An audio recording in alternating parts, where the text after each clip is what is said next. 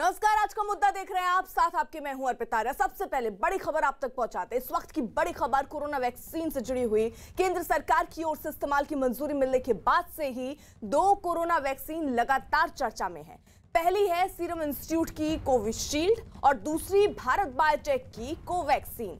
एक तरफ़ देश के कई हिस्सों में वैक्सीन लगाने की तैयारियों को परखा जा रहा है, ड्राई रन हो रहा है तो दूसरी ओर कई विपक्षी नेता देश में तैयार कोरोना वैक्सीन पर सवाल उठा रहे हैं। यूपी के 75 शहरों में एक साथ ड्राई रन की तैयारियाँ पूरी हो चुकी हैं। इस ड्राई रन में वैक्सीन लगाने की हर प्रक्रिया की मॉक ड्रिल की जाएगी। लेकिन अखिलेश यादव, शशि थरूर, मिलिंद देवड़ा और कई दूसरे नेताओं ने वैक्सीन के मुद्दे पर केंद्र सरकार को निशाने पर लिया। इन सब के बीच कोवैक्सीन बनाने वाली कंपनी भारत बायोटेक के सीएमडी डॉक्टर कृष्णा एला भी सामने आए और दावा किया कि उनकी वैक्सीन हर मापदंड पर खरी है।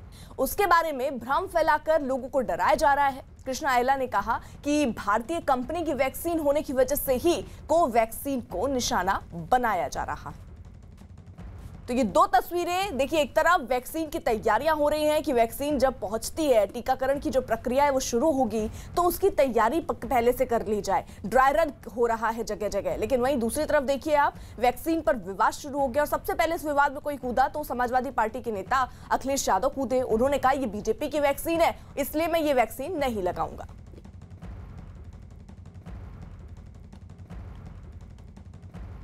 कुछ खास सहयोगी इस वक्त हमारे साथ है। रवि सिंह दिल्ली से इस वक्त है। कुछ ही देर में अमित सिंह नोएडा से हमारे साथ होंगे और दीपक बिस्ट इस वक्त गाजियाबाद से हमारे साथ मौजूद है। जल्दी से पहले दीपक का रुख कर लेते हैं। दीपक, आप कहाँ पर मौजूद हैं? जरा तस्वीरें अगर दिखा पाए और किसी से शायद आप बात करना चाह रहे हैं।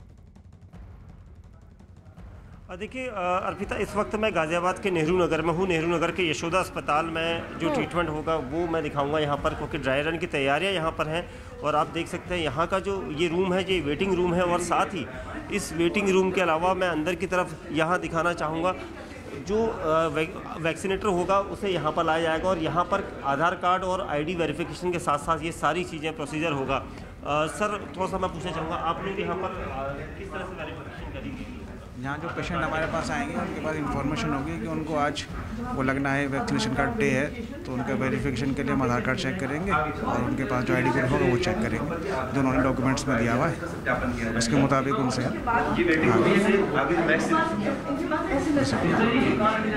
और यहाँ डॉक्टर साहब जिस तरह से पेशेंट आएँगे, जो ड्राई रन की तैयारियाँ हैं, किस तरह से आप लोगों की तैयारियाँ बेसिकली ये है कि हमने दो कैटराइज किए हैं पेशेंट के, दो बैचेस होंगे, एक ट्वेंटी फाइव बैच का दो दो बैच होंगे।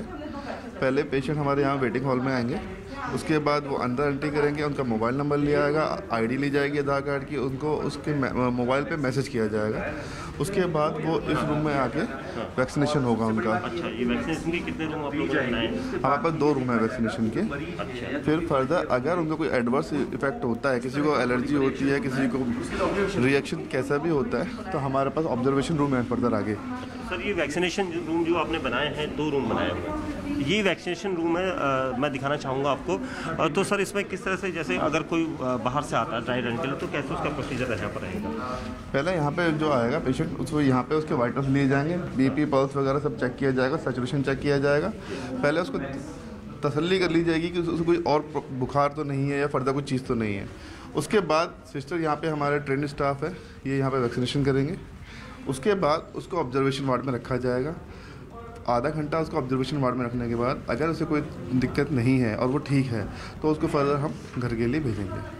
अच्छा अगर तबियत सही रहेगी तो अगर ठीक रहेगी तो घर के लिए भेजेंगे। अदरवाइज़ अदरवाइज़ अगर किसी को कुछ प्रॉब्लम होती है तो हमारा आगे ऑब्जर्वेशन रूम है। आइए मैं दिखा देता हूँ। बिल्कुल ऑब्जर्वेशन रूम भी मैं अर्पिता एक बार दिखा दूँगा अपने दर्शकों को कि यहाँ पर ये, ये भी हमारा वेटिंग एरिया है। बेसिकली यहाँ पे पहले जब वैक्सीनेशन हो जाएगा उसके बाद पेशेंट को यहाँ पे हम लोग थोड़ा हाफ़ एन आवर के लिए उसको वेट कराएँगे। वो यहाँ पे हाफ़ एन आवर वेट करने के बाद जब उसे कोई कंप्लेंट नहीं होगी फर्दर उसके वाइटल चेक होंगे बीपी वगैरह वाइटल चेक करने के बाद फिर वो यहाँ से हमारा एग्जिट हो जाएँगे। अगर फर्दर उसे कोई प्रॉब्लम होती है या कोई रिएक्शन होता है तो हमारा आगे यहाँ पे यहाँ पर आपका लास्ट ट्रीटमेंट रूम होगा जहाँ पर अगर कोई परेशानी बेसिकली ट्रीटमेंट नहीं अगर पेशेंट को कोई दिक्कत हो रही है तो हम उसको यहाँ पे हमारा ये ऑब्जर्वेशन वार्ड है। आइए। अच्छा। ये ऑब्जर्वेशन वार्ड है। तो यहाँ पे हम उसके वाइटल्स वगैरह पूरा चेक करके मॉनिटर करके जब पेशेंट को कोई दिक्कत नहीं होगी ठीक रहेगा तभी हम उसको आगे फर्दर फिर भेजेंगे। बिल्कुल डॉक्टर अभिमन्यु जौहरी हैं यहाँ पर यशोदा अस्पताल के। उन्होंने बड़ी बारीकी से ये समझाया कि किस तरह से ये पूरा ड्राई रन स्टार्ट होगा और किस तरह से अगर कोई तकलीफ़ होती है कोई परेशानी अगर पेशेंट को आती है दीपक तो आप साथ। राजीव सिंह इस वक्त हमारे साथ जुड़ चुके हैं लखनऊ से हमारे सहयोगी। राजीव का भी रुक कर लेते हैं। राजीव लखनऊ में क्या खास तैयारियाँ?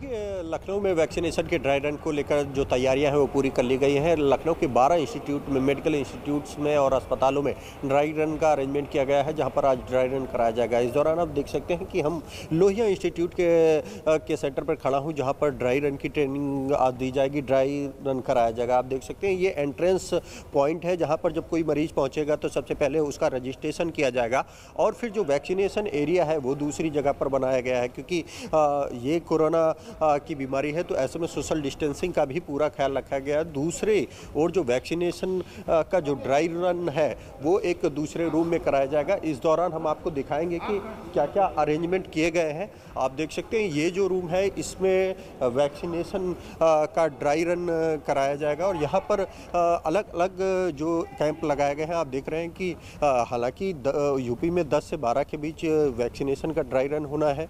उस दौरान आप देख सकते हैं कि कई बूथ बनाए गए गया और यहाँ पर सबसे पहले जो पेशेंट पहुँच रहे हैं, उनकी काउंसलिंग की जा रही है और फिर किस तरह से उन्हें अटेंड किया जाएगा, इसकी ट्रेनिंग दी जाएगी। और इस दौरान आप जो यहाँ पर पेशेंट आएगा जब उसको वैक्सीनेशन होगा तो उसको 30 मिनट वैक्सीन लगने के बाद आप देख सकते हैं कि इस वेटिंग हॉल में वहाँ पर वेट कराया जाएगा और अगर देखा जाएगा कि कोई दिक्कत उसे नहीं हो रही है तभी उसे आगे बढ़ाया जाएगा। ऐसे में अगर पेशेंट को कोई शिकायत होती है तो यहाँ पर जो डॉक्टरों की टीम है वो उन्हें अटेंड करेगी ताकि फर्दर उनको कोई कॉम्प्लिकेशंस ना हो। तो कुल मिलाकर अगर देखा जाए तो राजधानी लखनऊ समेत उत्तर प्रदेश में जो ड्राई रन की तैयारी है वो पूरी कर ली गई है।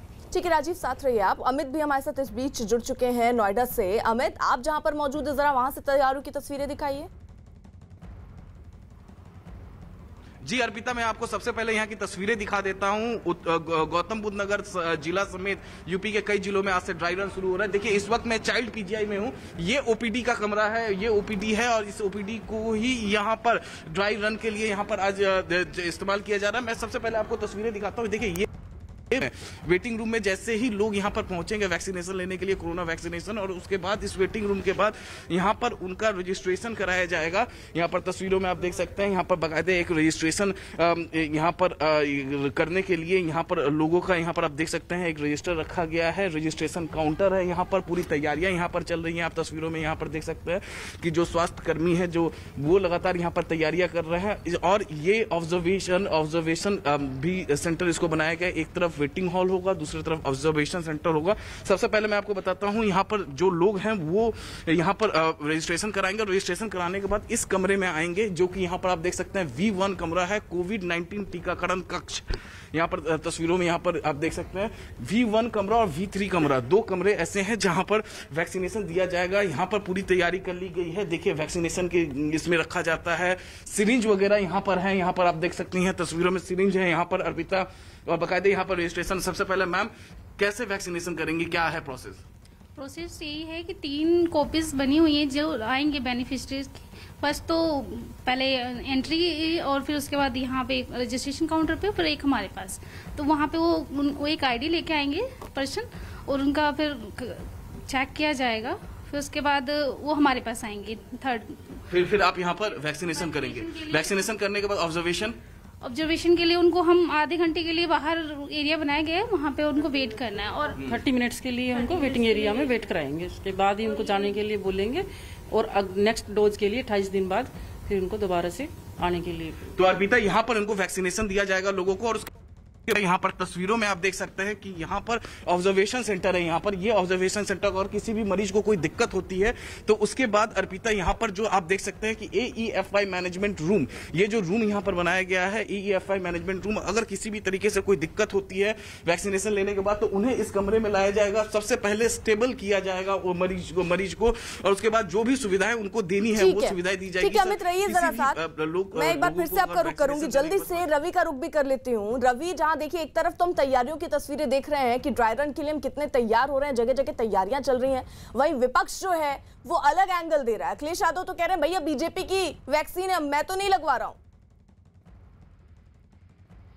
अर्पिता, ये एक बहुत बड़ी विडंबना है देश की कि दो वैक्सीन देश में तैयार हुई और ये मेहनत दिन रात की वैज्ञानिकों की डॉक्टर्स की एक्सपर्ट्स की मेहनत करके वैक्सीन तैयार किया और जिस पर भरोसा देश के लाखों करोड़ों लोगों को होना चाहिए।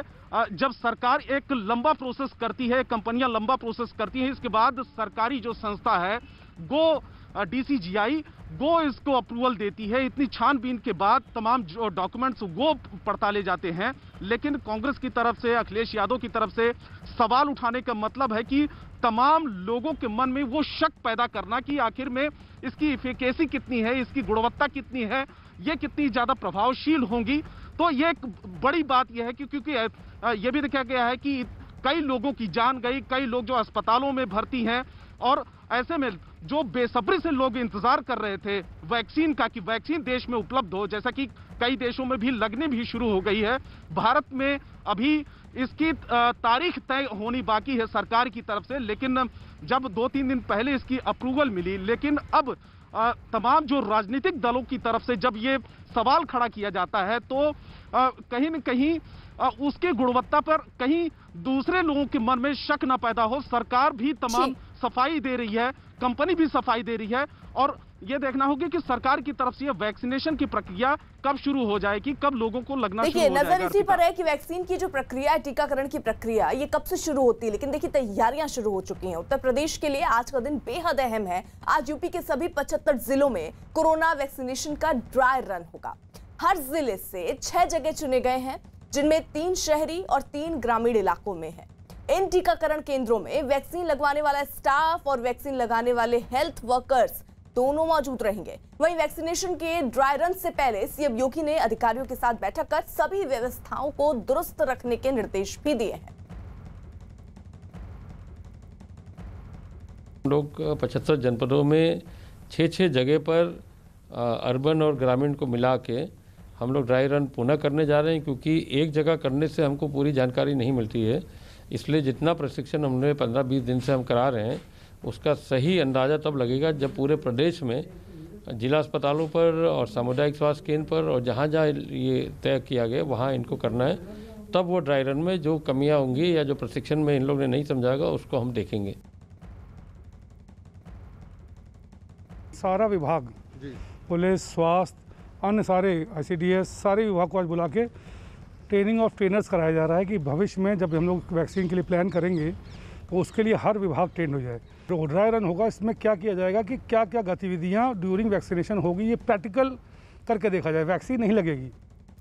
दीपक हमारे साथ मौजूद हैं। दीपक, आप क्योंकि उस सेंटर में हैं, जहाँ पर ये टीकाकरण प्रक्रिया का एक तरीके से कहें तो ट्रायल या ड्राई रन चल रहा है।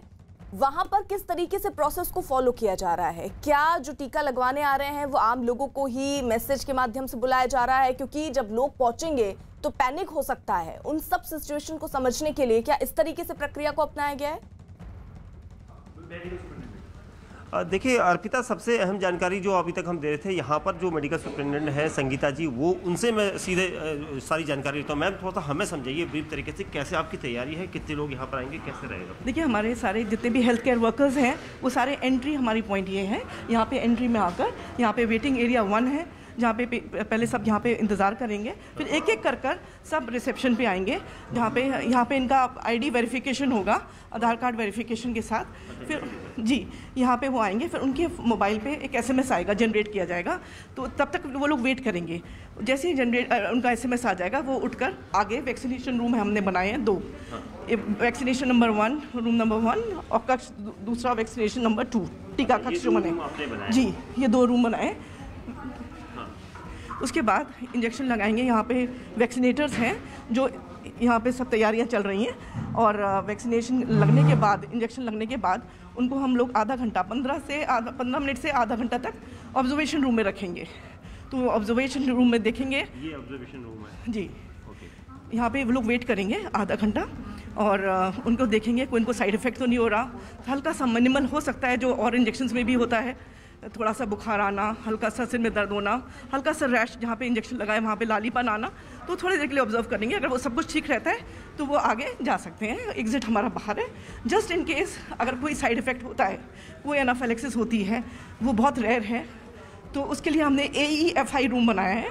ये क्या ये कौन सा रूम होता है? सर ये adverse effect following inoculation after injection जो लगेगा उसके लिए हमने चेम्बर बनाया है। यहाँ पे चैम्बर में अगर उसको कोई परेशानी होती है मरीज़ को? यहाँ पे हम ऑब्ज़र्व करेंगे। यहाँ पे अगर इंजेक्शन देने पड़े हमें इमरजेंसी ड्रग्स देनी पड़ी वो सब हमारा अरेंजमेंट है यहाँ पे। और यहाँ पे लगने के बाद डॉक्टर हमारे पास यहाँ पे रहेंगे ऑन ड्यूटी ऑब्ज़र्व करने के बाद आधा घंटा पंद्रह मिनट देखने के बाद फिर उनको हम रिलीज़ कर देंगे। ठीक तो है। दस बजे का टाइमिंग यहाँ पर है आप लोगों को ड्राई रन का तो कितनी देर और लगेगी टाइम मेरे ख्याल से another fifteen twenty minutes everybody should be here सब आ जाना पंद्रह से बीस मिनट के बाद यहाँ पर ड्राई रन शुरू होगा। ठीक है दीपक रही जरा साथ। देखिए गाजियाबाद की तस्वीरें आप दिखा रहे हैं। कई जगहों पर उत्तर प्रदेश सरकार की कैसी तैयारियाँ हैं वो भी आपको बता दें। उत्तर प्रदेश सरकार ने विज्ञापन जारी कर कोरोना वैक्सीनेशन के लिए लोगों को रजिस्ट्रेशन कराने की जानकारी दी है। विज्ञापन में कहा गया कि जल्द वैक्सीनेशन का अभियान शुरू होगा। वैक्सीनेशन के लिए रजिस्ट्रेशन ज़रूरी होगा। वैक्सीन लगवाने वालों को फ़ोटो पहचान पत्रों के ज़रिए रजिस्ट्रेशन कराना होगा। इसके लिए आधार कार्ड, पेंशन कार्ड से लेकर मनरेगा जॉब कार्ड भी मान्य होगा। अमित, आप जहाँ पर मौजूद हैं, जरा वहाँ तैयारियाँ दिखाइए। अगर वैक्सीनेशन से किसी प्रकार की दिक्कत होती है तो उसके लिए क्या इंतज़ाम किए गए हैं? जी हाँ बिल्कुल। वैक्सीनेशन से अगर किसी भी प्रकार से दिक्कत होती है तो उसी कमरे में ए ई एफ़ आई कमरे में इस वक्त मैं मौजूद हूँ। अगर किसी को भी वैक्सीनेशन से दिक्कत होगी तो उसे सीधे यहाँ पर लाया जाएगा। मैं यहाँ पर देखिए, सारे इक्विपमेंट सबसे पहले आपको दिखा देना चाहता हूँ। डॉक्टर साहब भी मेरे साथ हैं, उनसे भी हम बातचीत करेंगे यहाँ पर। कैसे एक शख्स को अगर दिक्कत होगी तो उसको स्टेबल किया जाए। देखिए, यहाँ पर देखिए, यहाँ पर सारे सिरिंज वगैरह यहाँ पर मौजूद हैं इंजेक्शन वगैरह मौजूद हैं, कि किस तरीके से स्टेबल करना है। डॉक्टर साहब हमारे साथ मौजूद हैं, सीधे हम इनसे बात करते हैं। सर, अगर किसी को कोई दिक्कत होगी, वैक्सीनेशन के बाद तो कैसे आप स्टेबल करोगे? क्या क्या क्या ई एफ़ आई कमरे में क्या क्या रखा हुआ है? एक्चुअली हम लोग नर्सिंग सपोर्ट टीम की तरफ़ से जैसे जैसे हमको पता चलेगा कि किसी ने वैक्सीनेशन वैक्सीनेशन लगाने के बाद उसको रिएक्शन होला है तो सबसे पहले हम हाफ़ एन आवर यहाँ पर इस वैक्सीनेशन एरिया में उसको बात करेंगे या तो उसको प्रॉब्लम्स होगी इस कमरे में- तो इस इस कमरे में हम उसको एडवर्स रिएक्शन होता है तो इमीडिएटली उसको इमरजेंसी ट्रीटमेंट देंगे ऑक्सीजन देंगे उसके बाद यहाँ अर्पिता तस्वीरों भी दिखाने के लिए बोलूँगा कि मेरे कैमरा पसंद लगाता है हम इसको पेशेंट्स को आराम से यहाँ पर स्टेबल करेंगे उसका ब्लड प्रेशर वगैरह मॉनिटरिंग करेंगे ऑक्सीजन सेचुरेशन उसको मॉनिटरिंग करेंगे और उसके बाद इंजेक्शन की ज़रूरत पड़ेगी वो भी इंजेक्शन लगाएँगे। यहाँ तो हम अपनी इमरजेंसी एरिया में ले जाके उसको इमीडिएटली ट्रीटमेंट करेंगे। इमीडिएटली ट्रीटमेंट करेंगे। यहाँ पर देखिए ऑक्सीजन की पूरी व्यवस्थाएँ की गई है। अगर किसी को दिक्कत आता है वैक्सीनेशन के बाद तो यहाँ पर पूरी तरीके से स्टेबल करने के लिए यहाँ पर पूरी व्यवस्थाएँ की गई हैं। और यहाँ से अगर फिर भी कोई दिक्कत होती है तो यहाँ से लेकर इमरजेंसी एरिया में लेकर इमरजेंसी एरिया में लेके जा रहे हैं आपका दे देख लीजिए और मैं इनको लेकर जा रहा हूँ सीधे इमरजेंसी एरिया में। ये बताएँगे कि इमरजेंसी एरिया में किस तरीके की क्या सुविधाएँ यहाँ यहाँ पर हैं। मैं आपको ये दिखाना चाहता हूँ अगर लोगों को दिक्कत होती है तब इमरजेंसी एरिया कितने दूर है यहाँ से? घूमते ही पास में ही है यहाँ। तो यहाँ से है और मैं आपको एक बार और तस्वीरें यहाँ पर दिखाना देखिए ये ओपीडी कमरा है ये एंट्री पॉइंट है और यहाँ पर सीधे लिख लिख दिया गया है यहाँ पर पोस्टर है कोविड 19 टीकाकरण स्थल देखिए यहाँ पर लिखा हुआ है अर्पिता। और उसके बाद यहाँ से जो लोग हैं वो एंटर करेंगे। सबसे पहला जो काम है वो इस वेटिंग हॉल में वेट करेंगे और जिस तरीके से उनका। समय आता है वो वो जो चेयर आप देख सकते हैं वहाँ पर वो अपना रजिस्ट्रेशन कराएँगे। जी। ठीक है रवि रहिए साथ। माफ़ कीजिए अमित रहिए आप साथ।